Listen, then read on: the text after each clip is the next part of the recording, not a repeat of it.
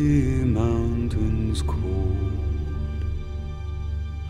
to dungeons deep and caverns old. The pines were roaring on the height. The winds were moaning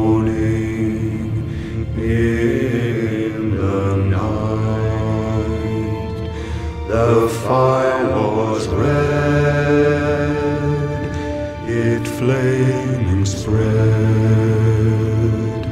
The trees like torches blazed with light.